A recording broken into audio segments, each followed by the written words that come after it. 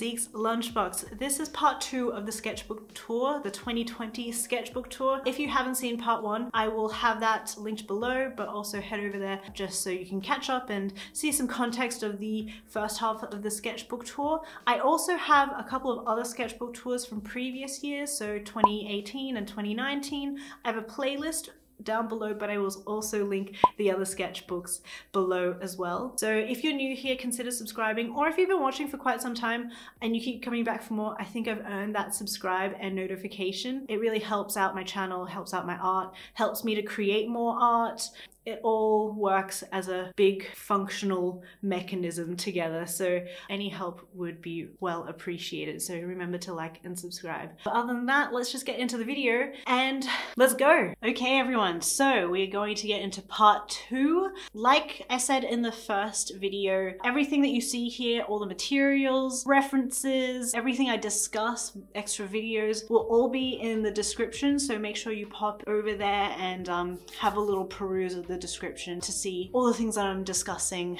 in this video. Okay, so I think with this spread, I was doing one of those, you know those timed reference websites when you just fill out the form and then it gives you like quick references? That's what I was kind of going with here. I think these are all like five minute drawings, maybe a little longer, maybe 10. I can't quite do the 30 second ones. I think those are insane. You know, when you do life drawing and they change poses every 30 seconds, then it gets a bit longer and a bit longer. I think maybe that's what was going on here, but then I kind of extended the time a little bit more. I think those life drawing things don't work at this scale. I need to go bigger and something, again, I want to do more of in the future because I find that the life studies have just helped so much in helping me actually put some hands and feet together and I just feel so much more confident drawing bodies after doing a lot of life studies. Again, trying to just do a bunch of facial expressions, trying to do a lot more, you know, ethnicity so I'm not just constantly painting white ladies. I know, I know. I get a lot of like kind of shady comments about that. I know, I'm trying as well I know I'm a person of color and I need to represent my own kind and put that into artworks. But hey, I'm trying to like undo years of what I've been given as what the ideal beauty standards are. So I'm trying to untrain that in myself too, you know? Again, I'm experimenting with just like a lot of different colors in the faces. I quite like this girl. She has a really intense, like brutish, really cool vibe to her. Like she does shot put at university or something, like you know she's just cool. You know, a couple of coquettish girls, pretty crapola figure studies if I do say so myself, but you know, I'm trying, I'm trying. If you're a little stuck on life studies and you just hate doing them, try to just not do them in black pencil. I try and do them, you know, in like pens and use my watercolors. If you want to like liven it up, but you still need to study and skill up, pop some color into it because trust me, it makes you feel so much better and makes you feel not so crappy happy about yourself because life drawing is really hard. Step away from the black pencil when you're doing life studies. Doing it the more traditional way, you really learn to use your tones properly, etc, etc. But one thing at a time, why not just make it fun for yourself uh, while you're studying? I'm getting a couple of memories of maybe doing this spread on a plane. I just remember drawing this particular little square on a plane. Not sure. Again, I think here I was just trying to do more figure studies. You can never do enough figure and face studies, truly. I'm just trying to get my numbers up as much as possible, get my quantity up. So although maybe it's a little repetitive for you guys, it's just something that I have to do to skill up. Yeah, just a couple more figure studies, doing some more athletes, just because uh, athletic poses have really amazing, grand, gestural, lots of motion in them. So I'm just trying to do that a lot more in my pieces. Again, doing a little like Palm Springs mid-century little doodle over here, you know, with the cool palm trees and the old school cars. I like the vibe. It's the right vibe, you know? A little mountainscape. I quite like how it's like split in the middle here, something I kind of want to play more with in the future. Again, doing those like super stylized landscapes. I like how the landscape and the cloud kind of like come out of it. It's kind of cute. I might try and recreate this digitally. I think when it comes to landscapes, I need to switch over and do them digitally so I can just fill in color really quickly and focus on my form and lighting more. I think that's actually kind of where I'm going wrong with my landscapes. I can't do them quick enough with watercolor. I don't know. Just a thought, just a thought. This postcard over here, available on my shop. These tarot cards, also available on my shop, but not for long because I am running low of the sample cards. This is what I mean when I when it comes to landscapes. Like I can't get the colors down quick enough and I want to work on them like super, super quickly. I think I need to switch over to gouache when it comes to doing landscape and environment studies. This guy over here I quite liked. He had a very interesting like side pose, but I messed up the feet. So, you know, just got to cover that and like it didn't happen. We talk about them feet. Here, I think she's from memory something I'm trying to do a lot more of so I'm not so beholden to the reference. Yeah, I like her like uh, laissez-faire uh, attitude, her like, uh, I'm so over this. Actually, her expression is very 2020, don't you think? Just like, I'm, I'm done. I'm so, so done with this. Another one of my tarot cards. I did buy a bunch of stamps because there was an art store closing down. I bought way too many stencils, half of them I haven't used, and a bunch of stamps. So some cute little butterfly insect stamps um, and I got some like pads as well. I call them page fillers. If you're really stressed about filling up a sketchbook, get stamps, get stencils. You know, you can just do one or two or three a page, get some stickers. I like to fill it up. It takes the pressure off and then you're filling up the, the sketchbook a lot quicker. So a little hot tip. I have a very distinct memory with this guy because I, I tried to spend one Sunday without like watching anything, without any music and uh, without any social media. So I was trying to just spend a Sunday like completely devoid of electronics. I didn't last long because I, I was so desperate to listen to music, but that's what this guy reminds me of. It has nothing to do with the actual drawing, just, you know, giving you some context of what the lifestyle looked like a cute little harlequin chick just again trying to use the same colors and the same mediums throughout the whole page quite like this creepy hand over here. Something again I'd like to experiment with more in the future, some more like overextended, exaggerated poses. Alright, some more failed landscapes, some like pretty crappy poses, and then a kind of cute ghost in the shell-ish gal. I think this chick's actually pretty worthy of an Instagram post. I might do that. I just really like the, the ear that pokes out amongst the blue, something that again I'd like to experiment with more in the future with future pieces. Some more facial studies from the website that I mentioned before, the quick the quick time studies. Just trying to do a bunch of like expressions. You guys are probably familiar with it if you do a lot of studies, especially with the website that I'm talking about, because I see these faces everywhere. A pretty bare bones page, hey. Uh, again, these are some cute portraits that I did from the time studies trying to do some more studies of people with different facial features. Yeah, just trying to use every color again, nothing too amazing. I quite like all the different colors in this gal over here, but again, I think they could be a little richer. More body studies over here. For some reason, I'm just not vibing the colors here. I don't like it. That's all we're gonna say about it a bit of a little brainstorming session on temperance. Quite interesting actually to revisit now. I've painted the temperance card maybe a month or two ago. I started the brainstorming part for it, possibly at the end of 2019. If you can see here a little thumbnail of temperance. The original idea for the card is I wanted the card to be a lot more sassy. It looked a little bit too silly, especially for the tone of the cards. I was trying to go a little bit richer with my colors in this one, which I think were a little fail. This last over here is really good. I, I'm trying really hard to figure out how to do a lot more negative space when it comes to my watercolors. I just don't have enough discipline to like leave all of the untouched parts, but you know, I'm still learning. And then this, this, this one, this one here is no good. These two are from a film as well, so name the movie if you know the movie. And then this cute little angel, um, she's from Pinterest somewhere. I really like the darker hued hands. I think they're really cute and something I'd like to experiment more in the future. Moving on, Oh, a very minimal page. Okay, so here I'm doing some brainstorming for the Justice card and also working again on Temperance. So the card kind of turned out to be more in this vein rather than like the other pose that I mentioned. I liked in the thumbnail how the feet came out like really big and yeah, just really experimenting with the scale of all the different features. Two more studies for temperance. Mix these two elements together and then you get the temperance card. One of the thumbnail ideas for justice.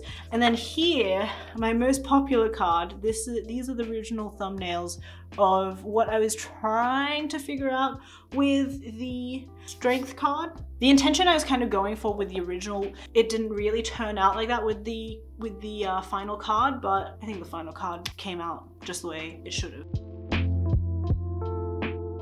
Because I was working on the strength card and designing that card, a lot of the designing goes on in my iPad, so you won't see a lot of it in here. I kind of do the rough thumbnails here and then go into iPad sketching. But because I knew that there was going to be a tiger in the strength card, I just needed to upskill my tiger drawing. So that's what this little dude is doing over here. Some more facial studies. Very rarely draw Asian men, so I'm trying to do that a little bit more. Cards from a couple of tattoo artists from a tattoo convention I went to. This girl here is the original study for the strength card. If you know that card, you're probably familiar with this pose. And then again, another Asian profile. I really didn't leave enough space for the back of her head. She didn't turn out that great. I remember being very frustrated with her because like the original sketch was really good and then as soon as I started painting it, it just like, it fell apart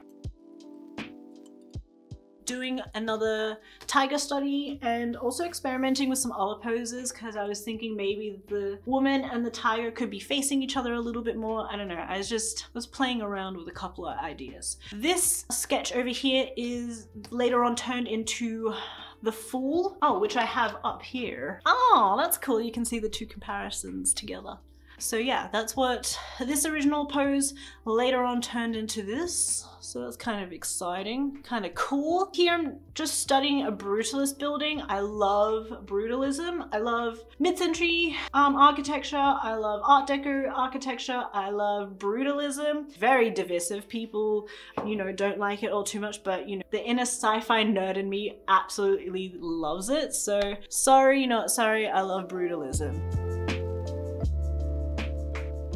a more involved page. That's nice. Again, just trying to study lots of different positions. So I'm never really studying fabric layering, especially in different angles and such. So that's what I was trying to go with here. Costume is really important for character development and people identifying characters really quickly. So it's something that I'm trying to work on a lot more and develop further. Uh, thus, this character. Uh, I quite like the more balanced feminine and masculine energied characters. That's just my vibe. This character I'm just vibing with and I'd like to do more, you know, tactical chick characters. Bugs, trying to do a lot more bugs because bugs are very popular. Every time I draw bugs, people froth. So I'm just trying to get my bug drawings up there. I also want to incorporate them a lot more in future paintings, so just trying to do that. This was a video, I'm pretty sure, this spread, which explains why it is a lot more involved and I'm trying to, you know, make something really beautiful and epic. So like I said in part one, I have a little like goal list of things I'm trying to achieve in the sketchbook and things to kind of focus on, things that I want to upskill in. One of the things that's mentioned is landscapes. In landscapes comes a lot of rocks.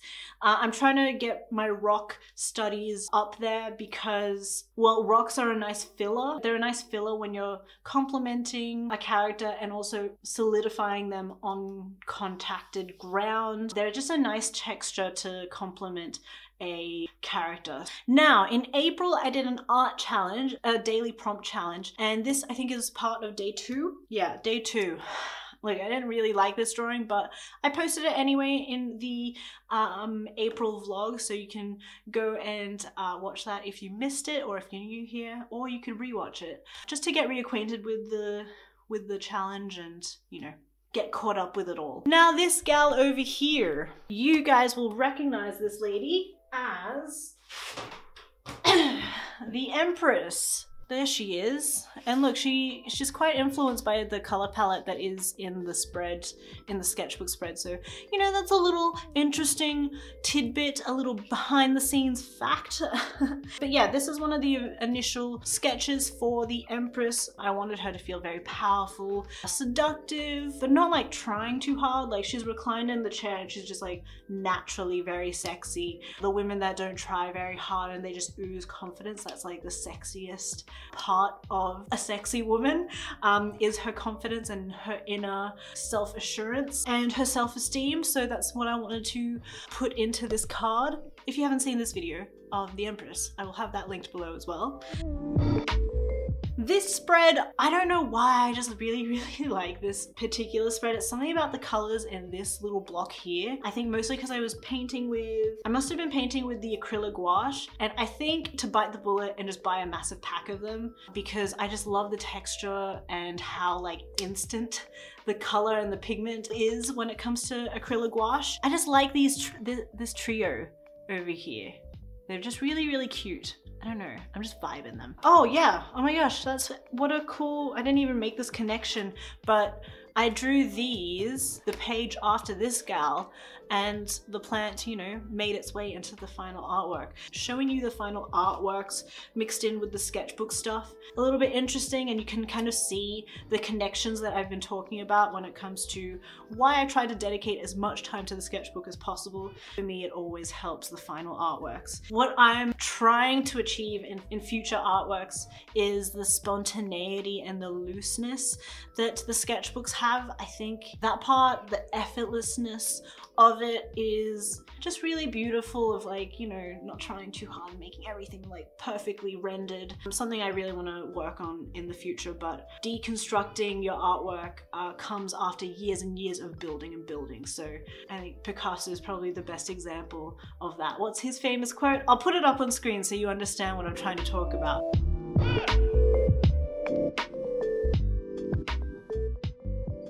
Deconstructing and unlearning everything after learning all you can about art and making the hardest lesson uh, to undo all of the tight, tight drawing and painting that I've been doing. So an example that I'm trying to explain here is that I love the looseness of the little leaves in the background here. And although it's not perfect, it's something that I want to try and work on a lot more in the future. Okay, if you guys watched the April Art Challenge, you will be acquainted with this spread over here. I drew this initially before the April Art Challenge. Just, like I said, play and get better at doing rocks. I don't know why they boggle my mind. I just can't see them as like big block shapes. All I see is micro little details and I'm trying to unlearn that. But I really like this girl. She kind of reminds me of a weird, obscure fan art version of Marge Simpson.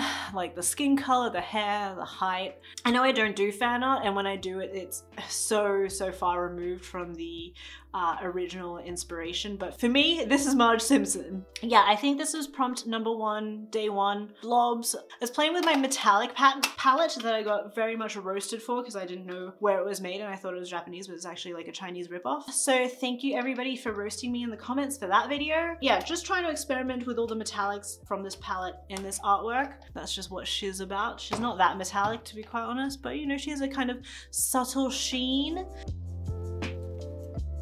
For some reason, pink just fixes all. Every time I add a little bit of pink into something, it's like, oh, okay, that's what it needed. Another spread from my April Art Challenge. This one, this the prompt for this one was circle, square, and then I don't remember, two colors I think was the prompt for this one. Yeah, I'm just going to go out on a limb and say that this is my favorite spread in the sketchbook. I just like the bug, I like Rainbow Girl, I like Leaf Girl. I think altogether they work awesome. Look, I'm just vibing them. Mixing in the girls with like an element and obscuring the face a little bit as well makes them a little coquettish, really sweet, demure, playful like they're little nymph angels playing in a field of flowers. They're just a little bit whimsical. Also ginkgo leaves are gorgeous and I want to pop them more in more artworks. I love the experimentation of the shapes in this as well. I just feel like I was just I was living, I was vibing this spread, you know, getting high off my own fumes, like being such a narcissist, really loving myself.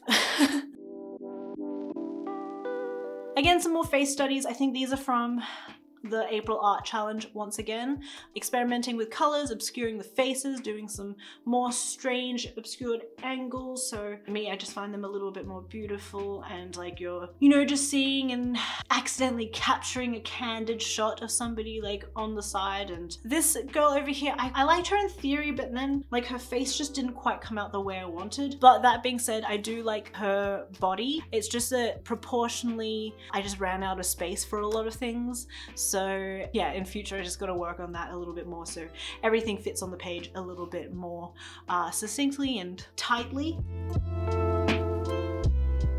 So some more pages from the art challenge. These two here I feel like are really strong. And by the way, I don't think I finished the art challenge, just FYI. I, I was planning to, but it just never happened. Because again, I'm trying to make a tarot card deck. That being said, I really liked the way this girl turned out. This is kind of the direction that I like to possibly go in.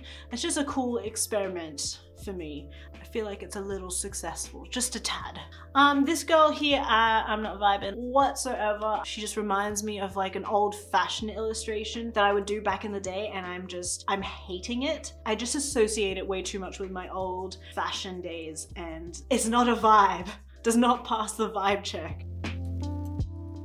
Okay, so you guys might be familiar with this one over here. I think the rest of the journal probably, yeah, will probably be familiar because last couple of pages are from a video called Finishing My Sketchbook, which you can catch up on as well. Like I said, I don't, I didn't finish the April Art Challenge. I went up, I went halfway and then stopped. Mama's got a bunch of other stuff to work on. This girl over here you will recognize as well from a movie. So if you know the film, pop it below. Like I mentioned before, I'm not sure if it was in this video or not. The acrylic gouache opera pink paint is incredible. I love discovering this combination of mediums. You know, I'm not somebody who's super obsessed with the mediums I use. Like obviously I have my favorites, but I don't like to restrict myself too much and define myself by a medium. But this combo over here is exactly what I'm going to use a lot more of in my uh, new sketchbook. So I put a base of opera pink and then I drew the outline with a Bic pen and then I used some watercolor on top of it and then some like white acrylic for the uh, highlights. Toned paper is a product for a reason. It's just so much less work when you have a, a tone behind your drawing. Work smart, not hard. Okay, moving on. So this page over here, trying to do a lot more characters with clothes, really see what the body looks like with clothes because I'm just really not used to studying those all too often. I'm still trying to figure out a lot of like crouched positions because I feel like I'm doing standing positions pretty well, but when it comes to like seated positions or crouch positions, I still have a lot of work uh, to go. Here, I'm just doing a little landscape of NYC, trying to do some buildings. The saturation of the watercolors that I use aren't deep enough for the tones that I'm trying to get to like really give my pieces that in-depth contrast. Everything's always a lesson and I think learning my lesson on mediums was a valuable one. This image here got me in trouble with YouTube, so hopefully, you know what, I'm just gonna cover her, so let's just remember what she looks like. And yeah, here just trying again to do some more studies, doing the same combo of mediums as this lass over here. It's hard for me to give my more reflective views on this particular spread because I kind of just did it recently, and I also just posted that video very recently too, so. And then also here, this is like really where I'm like, I'm so sick of the sketchbook and I just wanna move on to the next one and I just, I call this filler. This is hardcore filler right here. This character here is from my last sketchbook tour, so you might remember it, but this is a little postcard that's available on my shop as well. And you guys, that is the 2019-2020 sketchbook tour. Okay, you guys, that is the end of part two and the end of the sketchbook tour for 2020. If you enjoyed this video, make sure you give it a like and subscribe. Remember, I'm trying to get to 30k very soon. Before the end of the year would be better than 2021, but we'll see and we'll get there eventually. If you want more videos that are sketchbook related, pop them in the comments below. Um, I'd love to know what sketchbook content you guys want to see. So yeah, pop that below and uh, subscribe so you don't miss it. I'll see you in the next one. Bye. Yeah.